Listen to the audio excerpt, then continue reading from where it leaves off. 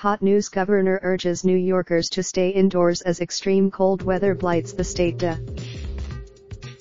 New Yorkers are being encouraged to stay indoors due to extreme cold weather expected across the state over the next couple of days. A.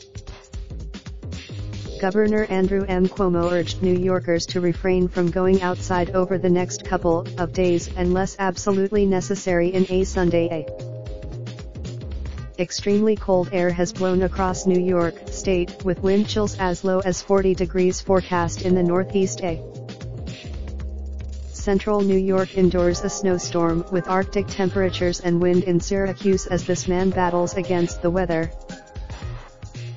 Ben Jennings snow blows his driveway on Sunday in Glenville, New York, uh, where 16 inches of snow fell from Saturday evening through noon Sunday. James Spanos pushes a cart of his belongings on a snow-covered street in Portland, Maine, during a winter storm. A worker uses a bobcat to clear snow from a sidewalk alongside Nantasket Beach in Massachusetts during a winter storm that brought snow, sleet, and rain to the area. The Arctic blast is said to be of particular concern for those living in the lower Hudson Valley area, where the rapidly dropping temperatures are expected to result in flash freezing on roads A. The winter storm has already produced 10 to 15 inches of snow in upstate New York, while some areas in the Adirondacks have had 20 inches of snow accumulation A. Strong winds are expected to blow the snow around, hindering visibility and covering roadways AAA. Cuomo issued the stay indoors message on Sunday and his office noted that the Arctic blast and rapidly dropping temperatures could result in dangerous flash freezing on roads. Governor Andrew Cuomo encouraged New Yorkers to stay indoors as extreme cold weather is expected to blast across the state. Extreme cold weather is expected to appear all across the north and northeast of the U.S.,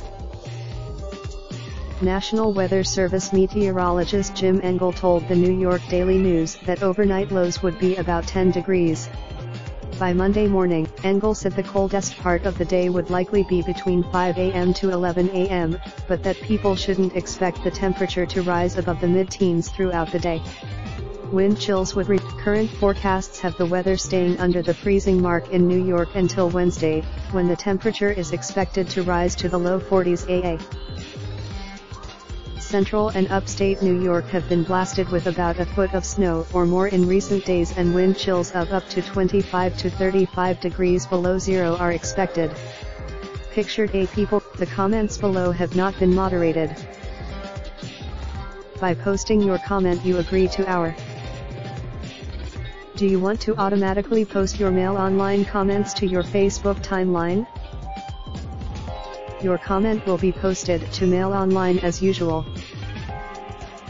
Do you want to automatically post your Mail Online comments to your Facebook timeline? Your comment will be posted to Mail Online as usual.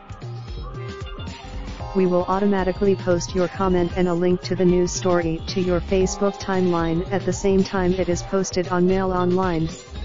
To do this we will, you can choose on each post whether you would like it to be posted to Facebook. Your details from, published by Associated Newspapers Limited. Part of the Daily Mail, the Mail on Sunday Metro Media Group.